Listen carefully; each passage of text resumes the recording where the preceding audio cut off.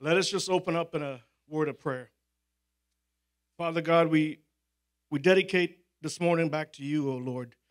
We thank you for being here with us, O God. We thank you for allowing us to worship and to sing to you, O Lord, and to rejoice in your presence.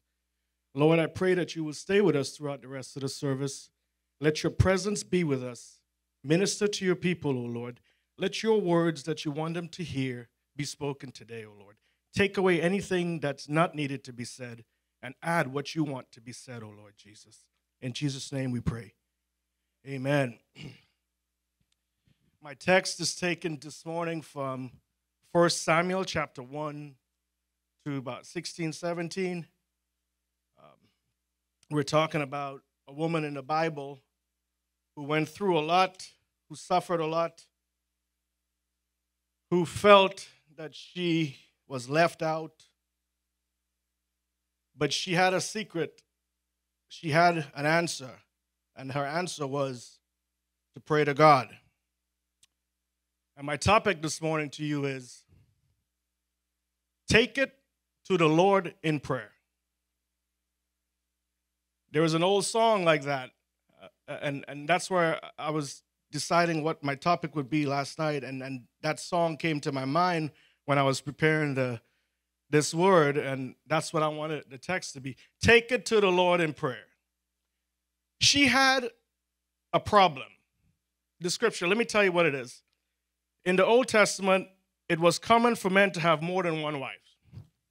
Hannah was one of two wives from a man named Elkanah. Okay? The first wife had children with him. But Hannah was barren.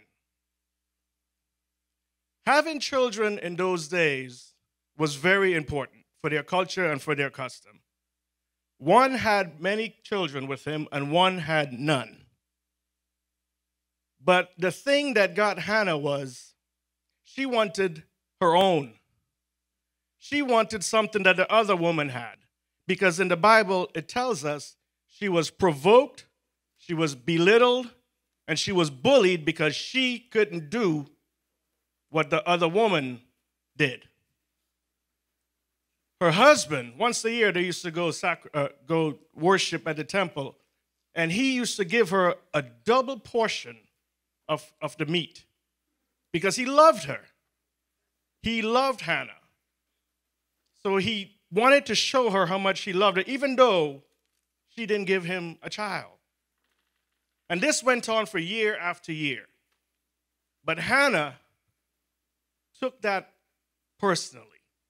It was something she felt inside that she needed as a woman to comfort her and to fulfill that emptiness inside of her.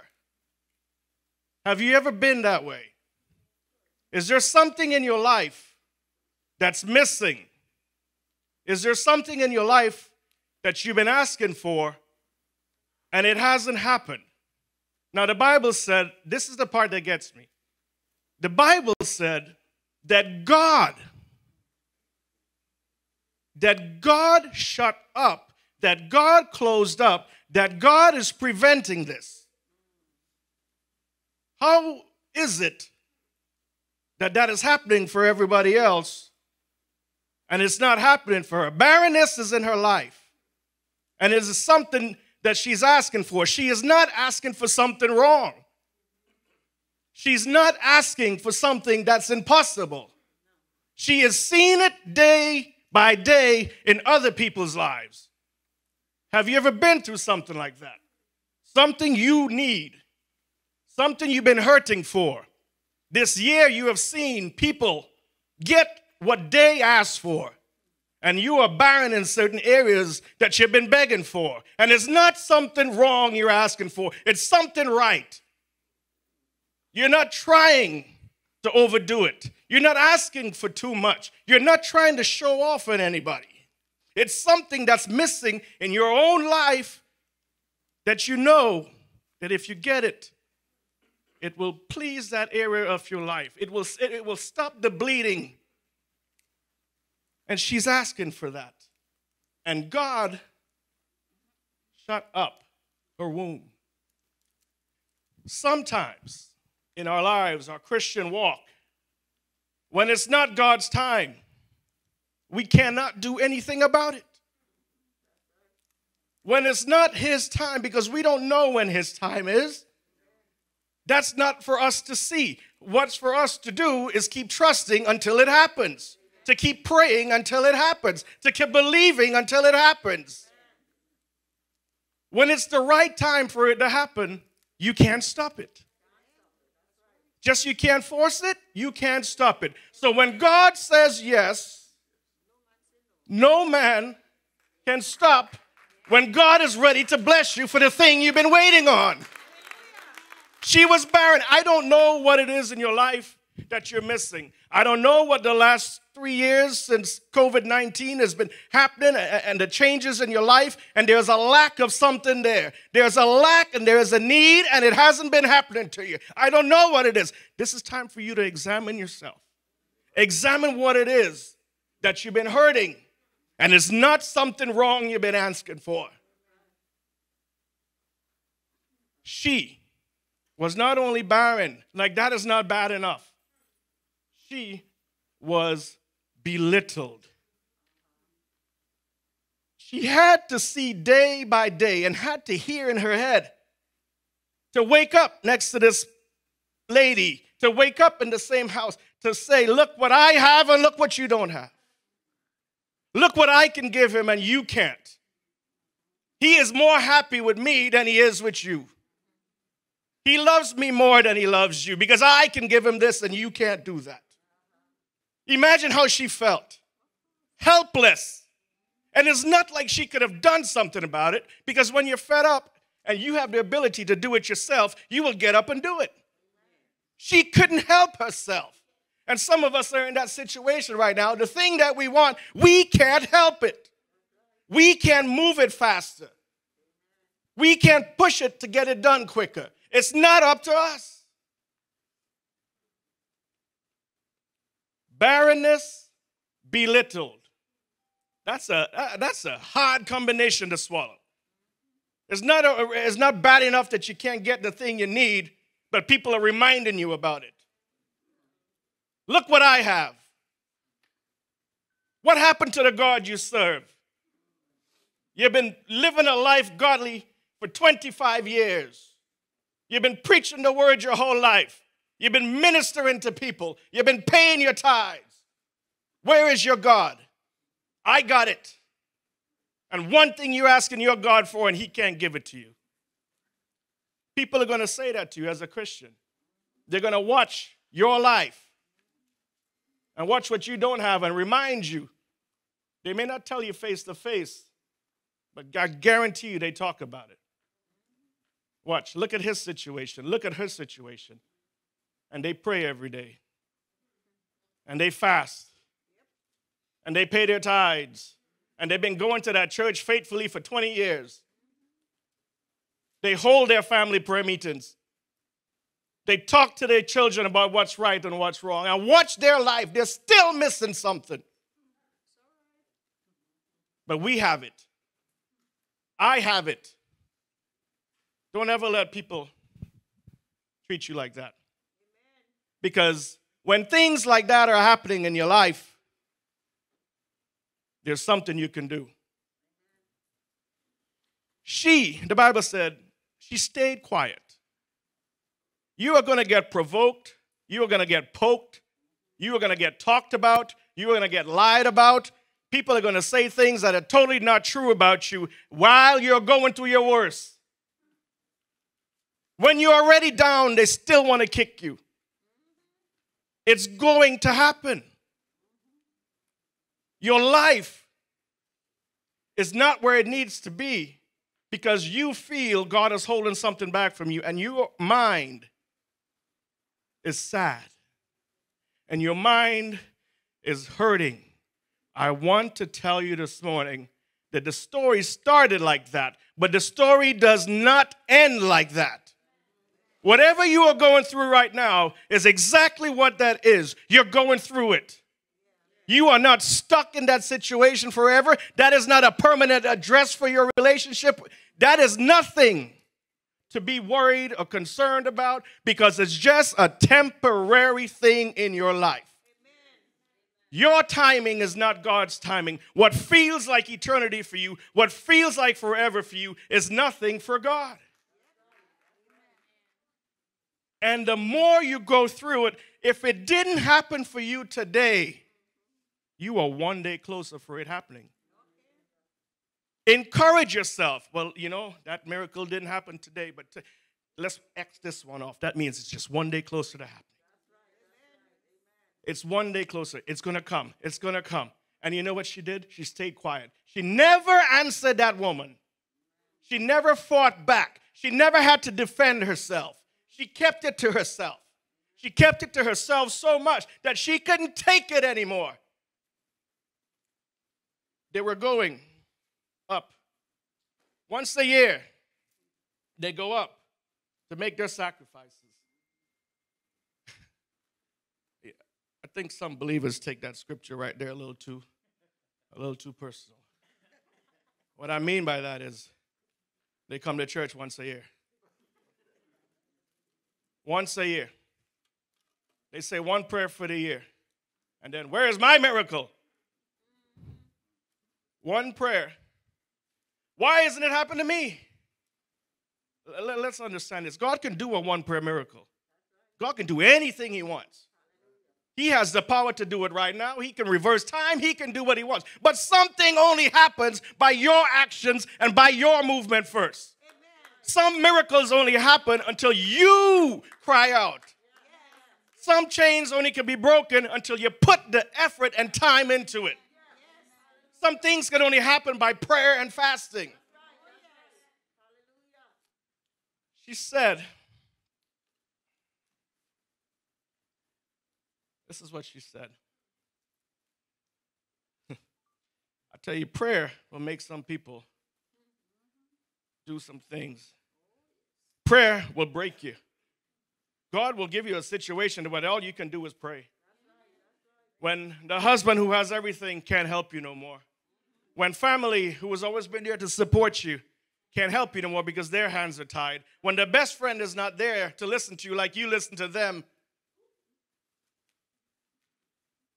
When the job, the coworkers that you feel comfortable with, that you leave the house and you, you go there to escape. When those things don't work no more, there's one person you can go to, and that is your Heavenly Father. That is the promise you have that any time, any situation, any circumstances, you can go to Him.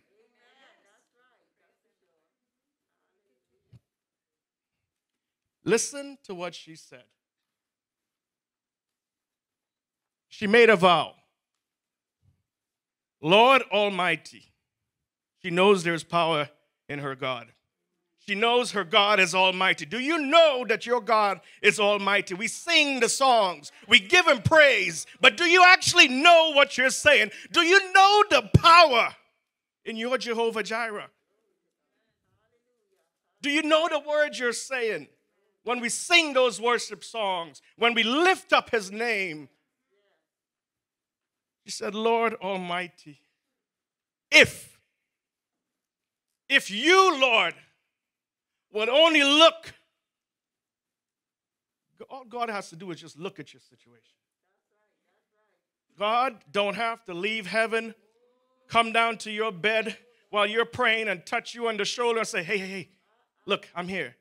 All he has to do is look at your problem and it can be solved. That's the power. And that's the faith she had. She said, Lord, if you would only look on your servant's misery Look, Lord, look. She is telling him what is hurting her. Some of us sit in our sorrow, sit in our pain, and we just say a prayer like this Well, Lord, if you want to fix it, fix it. And if not, well, it is what it is, and that's your will for me. No, she didn't take it like that. She didn't take it like that. And some of us, our prayer has to change, it has to become more personal. It has to be a one on one with you and God where the tears are falling. okay? And you're fed up of the hurt, and you're tired of the pain, and you're tired of seeing everybody's lives, the seeing the things you wanted play through in somebody else's life. But God is a good God. God is better than good. Look at your servant's misery. But not only look, Lord, remember me. I want you to pray that prayer this week. Lord, don't even just, just don't look at my just don't don't look and leave it like that. Remember me, oh Lord. Remember me that I prayed to you. Remember that I was faithful, oh Lord. Remember that I gave when I had nothing. Remember that I blessed that family. Remember that I picked the phone up and encouraged someone when I needed the encouragement. Remember, oh Lord. Remember me, your servant, oh Lord. I am hurting. Help me now, oh Lord. It's not wrong to ask God like that. You're not yelling at God, you're crying out to Him. He knows your heart, He knows the pain. If you remember me and not forget, I want to tell you, God don't forget. God don't forget. It might take longer. You might think he forgot. God don't forget anything.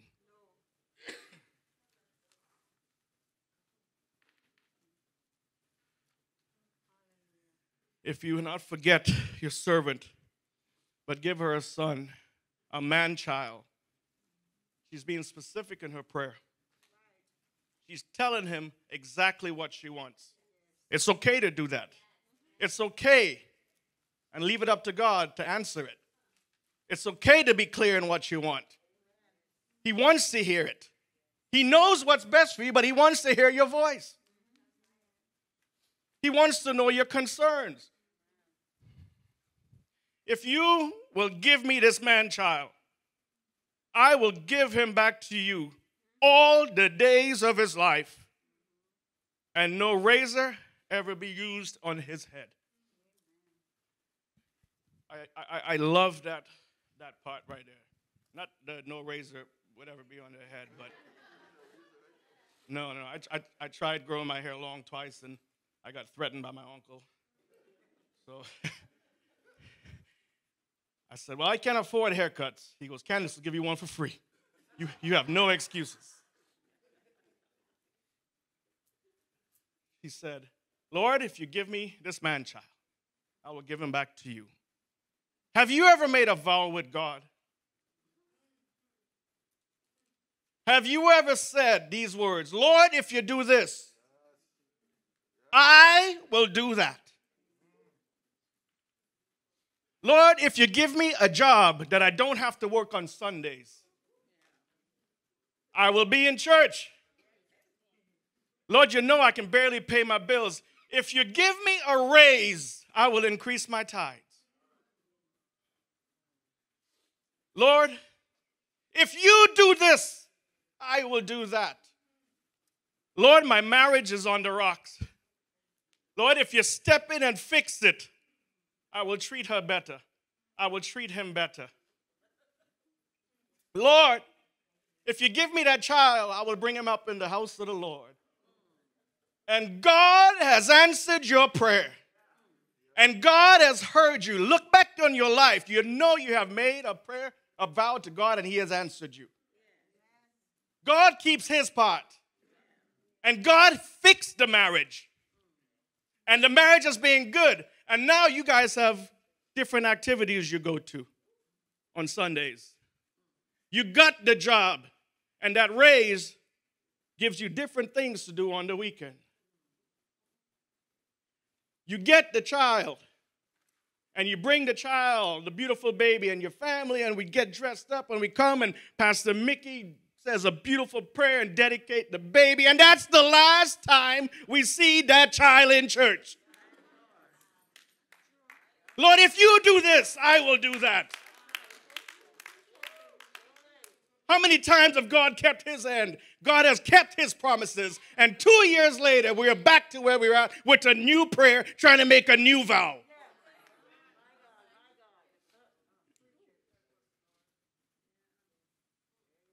Let's try to be like Hannah and keep our word. You know why? He keeps his. He cannot lie. He has never lied and he will never lie. His word is true.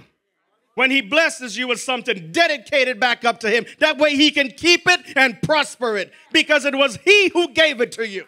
You couldn't do it on your own, remember? You can have it on your own. There's nothing you could have done except pray, and he gave it to you.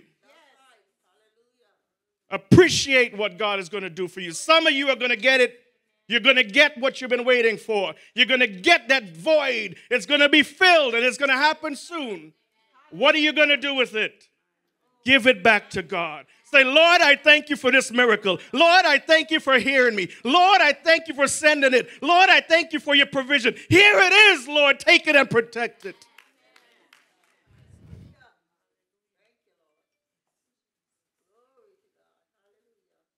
Now, Hannah, we're almost finished here. Hannah was in the temple praying. Her heart was troubled. And she was sitting there, shaking and mumbling and crying. And Eli, the high priest, said, Why, why are you drunk? This woman is in the worst emotional pain and situation in her life. And here's a high priest make an assumption that he knows nothing about. Why are you drunk? No, no, no, no, no, no, no, no, no, master. No, no, no. Your servant is not drunk. My heart is troubled. We must learn not to assume when we don't understand what is going on in some people's lives. We see people come to church on Sundays, and maybe just because they, uh, God forbid, they, they didn't mean to, they just passed by you and didn't say hi, and now you think that person has an issue with you. When that person haven't slightly thought about you for two seconds.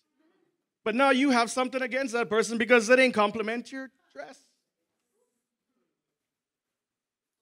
Don't judge other people by your understanding because you don't know what that individual is going through. You don't know what kind of week they had. You don't know the pressure they've been having at home. You don't know their mental state. You don't know. And she sat there and she cried. But I want to encourage you something. The same way Eli, the high priest, was watching her, one greater than Eli sees you when you're down on your knees, when you're by yourself in your office, when you're by yourself behind that steering wheel driving and the tears are flowing. When you go home and you can't talk and you shut the door and you start to offload on him and tears are just coming and you're begging him and you're talking to him, he sees that. And he knows what you're going through. He knows. And the Bible said after that, Hannah got what she asked for. She went from barrenness to belittle to bless. I don't know what stages you are at now, but guess what? It's a stage. No matter if you're in the beginning, the middle, or you're coming to the end, you're going to go through it. You're going to get through it if you're dedicated to God. If you say, Lord, I can't handle this no more. Lord, I need your help. And Lord will help you if you make that vow and you keep that promise. And I'm closing, and I want to close with this. God did something greater for us than he did for Hannah. Next week, we celebrate the birth of our Lord and Savior Jesus Christ.